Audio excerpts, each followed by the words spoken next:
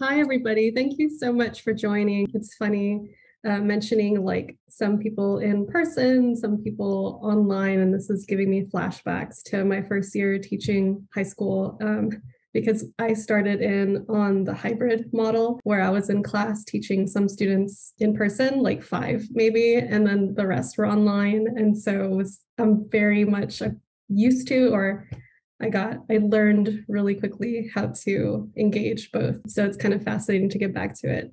Thank you so much for being here. I have my studio that you can see inside of, and I have all of my materials at like easy reach, as well as work that I wouldn't be bringing to the gallery. So I have pieces that I can show you where I learned certain techniques and such. So that's pretty cool.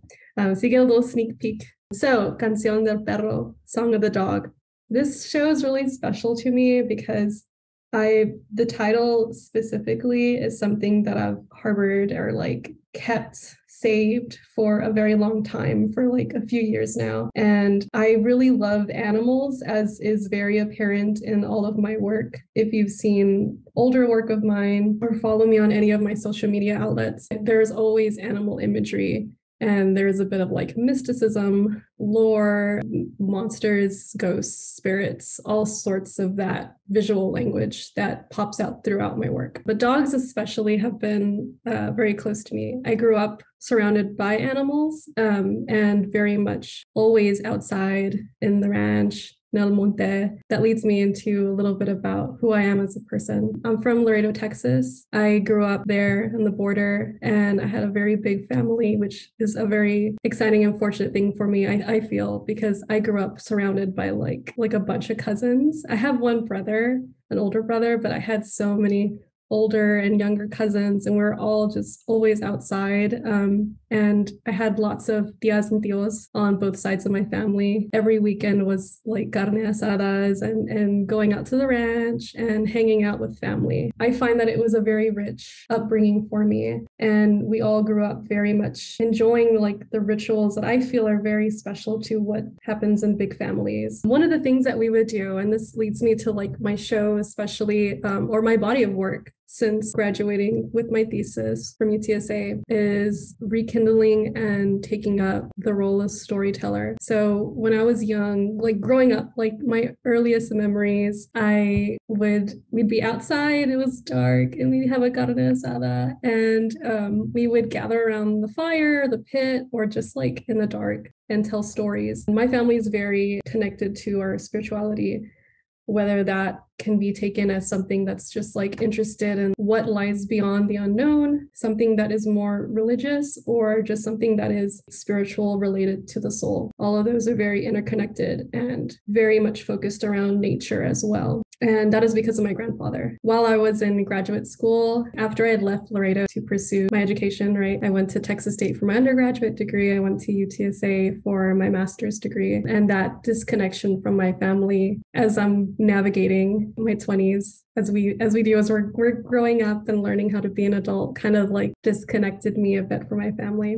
And when my grandfather who was very much like the pillar of my family on my mom's side he was dying it made me or it really forced me to like look back at who i am as a person facing that loss and why i am the way i am. What what are my interests? Like why is why is that so? Like why do i love animals? Why am i so interested in what i'm making work about? What am i truly interested in making work about, that's when I started to really delve into the stories that I grew up with, the experiences that my family have had that were maybe unexplainable, and as well as folklore, leyendas that I grew up hearing that felt very much normal to me. Um, it felt very, whereas like when you're disconnected, it's kind of like you you shift away from that belief, or maybe you question things more, or you just completely shut it down, which is completely normal as you're growing up. I think it's good to question things, and I think it's good to explore and tease at. But I also think it's really important to honor where you come from and to honor your family with whatever experiences that you've had with them, good or bad. It's just part of who you are as a person. So, getting to the dog, there are some different lore that I heard growing up that made the dog extra special. I know that the cat is very much the immediate figure of a tie to magic, or let me like the unearthly or the otherworldly. But I think the dog has a very silent and beautiful connection to both us and to maybe the side of the wild that we are very much separated from now. And I'll talk about the work, I guess, as we walk through each piece. So, Song of the Dog, this piece in specific, this painting is I kind of like my love letter to what dogs have brought to me in terms of joy. As a woman and as someone who has dogs, I find a lot of security and comfort in them, in what they maybe can sense or see or hear in their different senses. And so, I think like navigating the world as someone who may be like smaller or very aware of what's around the dangers, especially after the last several years of consistent world worldwide trauma with what we've gone through. I find for myself, but I think I noticed that lots of people found comfort again in animals and the slowing down of processes, being home, and the safety that you can feel from something that loves you unconditionally. So, this dog that this is a self portrait.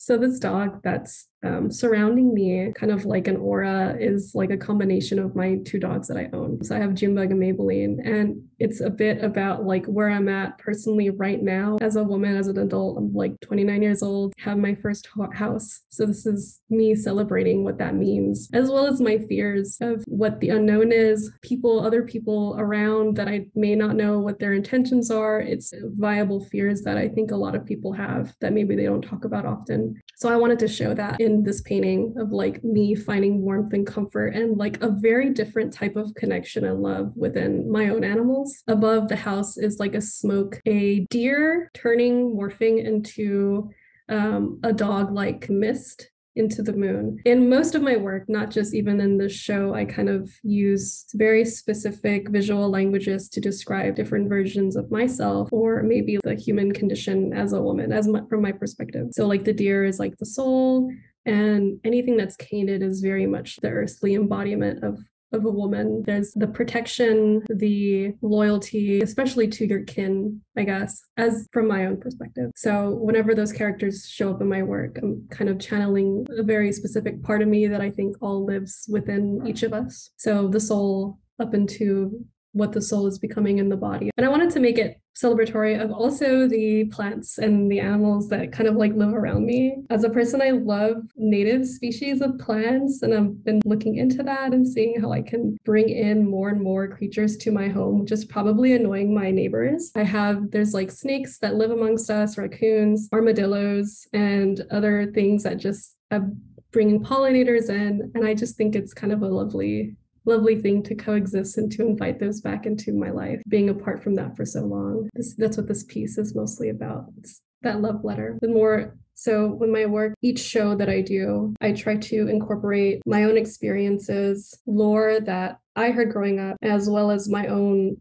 turn to storytell. This is kind of like my own perspective as a person and where I am currently. And that's another tie to what this piece is about as well. It's another self portrait, which is like new for my body of work because I've always been afraid to actually put my image within my artwork. I don't know why that always scared me before, but I, I do think that's important to also celebrate who I am. And so that's where I'm at currently. But in here is Maybelline. one of my larger dogs who I find the most safety with. And again, it's coming across the unknown. And while I was painting this, that figure that's across the river. It's not a specific person, but I did want to paint what it would be like to encounter maybe my grandfather or people who have passed in my life that I really cared about because death has touched us all at this point, especially within the last few years. And my mom, when I was making this painting, she was like, it reminds me of La Virgen. She is like welcoming to you to what adulthood would be like. So it's kind of like a little bit of a collaboration between my mom and I. And so I wanted to embrace what either of those could mean and keep it kind of open ended as well. The piece reminds me of the ranch that we had growing up, which after my grandfather passed, uh, my family sold it because no one could keep up with it, which is um, completely, it's sad, but it makes sense for where all the children were heading to, all my tias and tios. But I still dream about that place because it was such a unique part of my upbringing and a lot of people's upbringing from this area. To have pieces of land where your family would maybe gather and have celebrations and birthdays and experience what that connection to land could mean like in opposed to suburbia or living in the city. So I do channel those types of landscapes in my work a lot now as well. All right, so this piece, Song of the Dog. I I was really excited. This is the first piece I made for the show. This was the catalyst. So when I was little, I used to always hear dogs could see death coming like as a manifestation and there was a very specific tell that they would give to warn you. And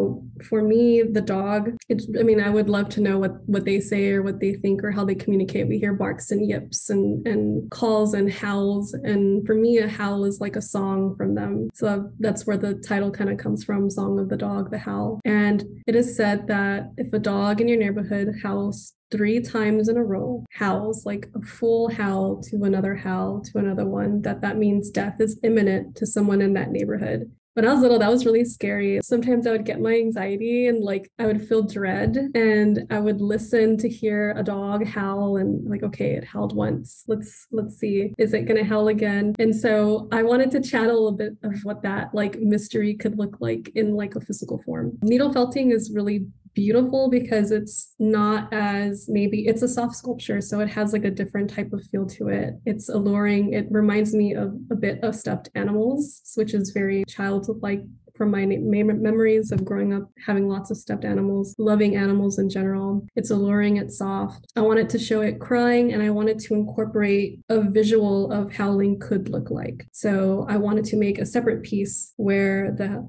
different howls were holding on to different undulating forms that also held symbols or words. So there's ghost on there, what what death could look like. There's symbols and different imagery to show what maybe the dog could be like communicating on what it's seeing. That piece is really fun. This piece right here, this rug hooked piece is it's my very first rug hooked piece. Um, I did this one in 2019. This was my very first exploration into the stories that my family has told me growing up. So it's very special. I learned how to rug piece, rug, rug hook with this piece, this very specific piece. And this is about the dog man. It's it doesn't actually like that story doesn't really have a title because it's so personal to my family, but I wanted to combine two of the stories that I heard growing up. And then the paintings that accompany that, all those different watercolors tell every single part of the story in very short uh, visuals. Like you can think of them as like vignettes to part of that whole. So with this story, well, in this image, you see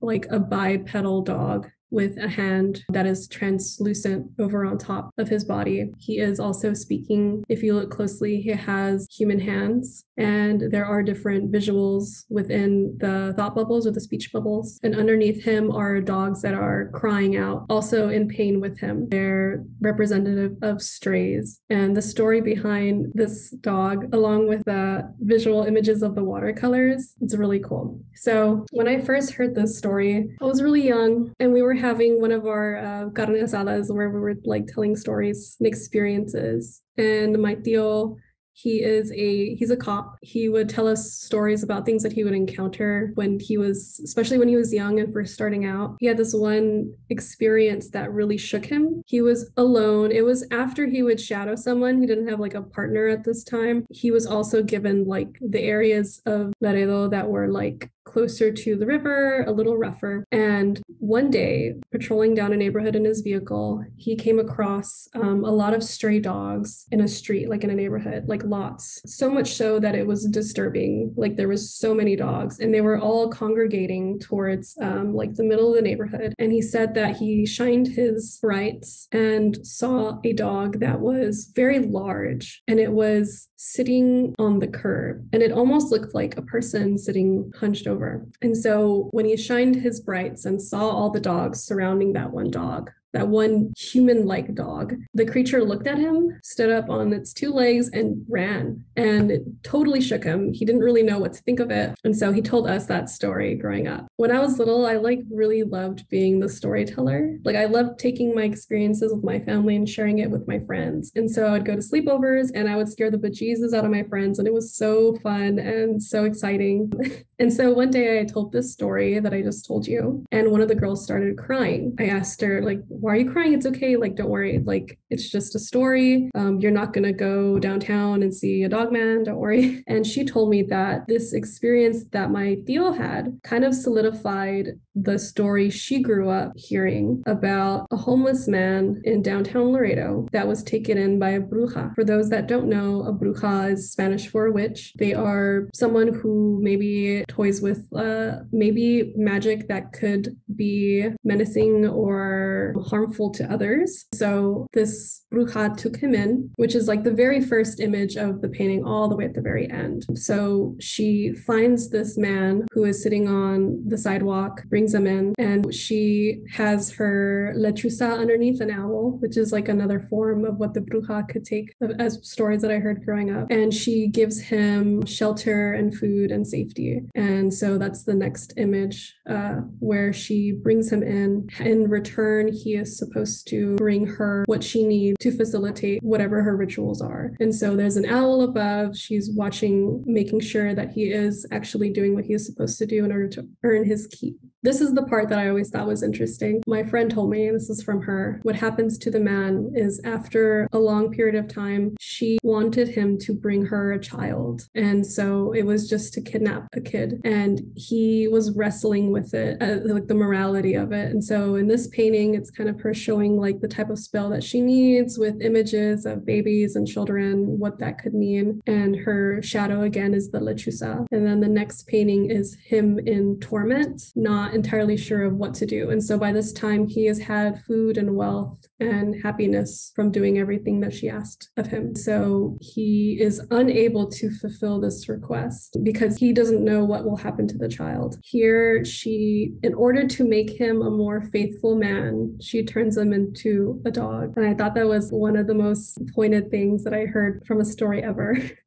Um, so here she is turning him into the beast that is forever cursed to be a dog and to walk around Laredo. And so she heard the story of his origin and never heard of actual any sightings until I told her about my tío, who saw this bipedal dog downtown appearing to be speaking to the strays in the streets, which is the last one, is him telling his story to the only things that can hear him now or understand him, which are the dogs. He is also in this story talking about above him his experience. So it kind of replays a bit of all what all the paintings show. And then this is like a recreation of that first tapestry that I made, which is the combination of the two stories. But now I'm exploring what my friend had told me growing up, which is really cool. It was really shocking to hear that from her. And I never told anyone about it until I made the tapestry. And then I told my tío about it. And he said, well, he was, he, he was shocked because he hadn't heard the origin or he hadn't heard anything besides what he had seen. But he did tell me that not too many years ago that he saw the same creature walking on the bridge because you can see the bridge, like depending on where you're at in Laredo, like the bridge to Mexico. And he said that he saw the dog again walking up on the bridge, crossing over, which I thought was real spooky and really exciting. All right, so this big piece, this one was very new to me because I was incorporating different pieces of felt fabrics to recreate a scene. When my grandfather was a lot younger, when he was alive,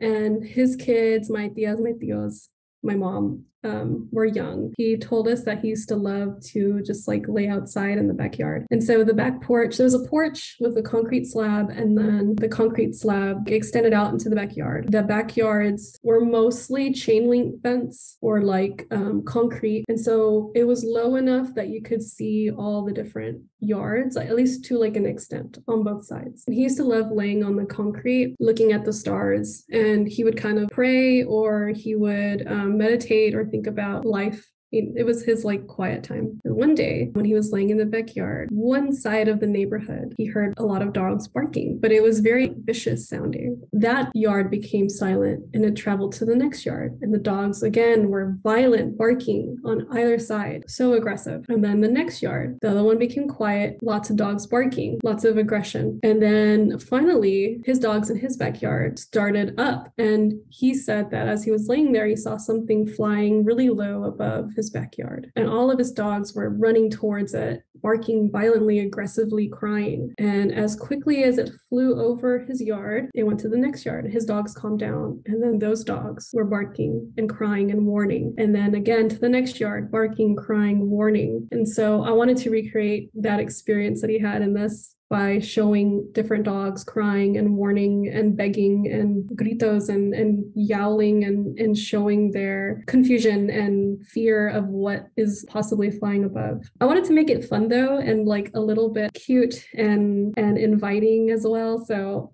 flat colors, really choppy fences, a little bit naive looking. The ghost above it is, I think it's so fun. I'm, I'm actually really excited with the way it turned out. It's very simple, but I think it encompasses that inner fear when you're young and you see something and you're like, oh my gosh, and it ends up being a cloak. So I just thought that was terrifying growing up and hearing that story. It only happened to him once, but I thought it was really cool the way that the dogs kind of like kept at bay whatever it was, whatever was flying above. And he never saw exactly what it could be. And each of the dogs that I chose, I thought were really on point with what the dogs that I grew up seeing around Laredo. The only one that's missing is probably like a husky, but like lots of German shepherds, lots of chihuahuas, pit bulls. So the black dog is like a German shepherd mix. And then I used my cousin's pit bull as a model for the, the pit bull in the middle, really floppy looking, really big, like a fat head, just adorable. And then the little cheese that were everywhere. They're the ones I think that are really fun, especially that pink one. That pink one's kind of my favorite because it's looking up and howling. And they're such small dogs, but man, they have like the loudest voices. That's what this piece is about. And I hope to learn different techniques just to make this. And so I got a lot of this is actually from upcycle stores, or like reuse stores where they take donations and then sell really inexpensively the materials back to keep things out of the, the landfill. Um, there's a store in San Antonio, Texas called Spare Parts. And so I got lots of material from them, uh, beads and fibers and such. So I wanted to incorporate that into this just to, that's like a become an important part of my process now is to reuse and recycle. Thank you for that installing it, I read all the labels and all your information and talking to you, but I think I learned a lot, especially those watercolors. You get a little bit from the label, but that's interesting that your your friend had the same experiences. Well, thank you very much. Thank you for having me and thank you all for joining virtually or in person.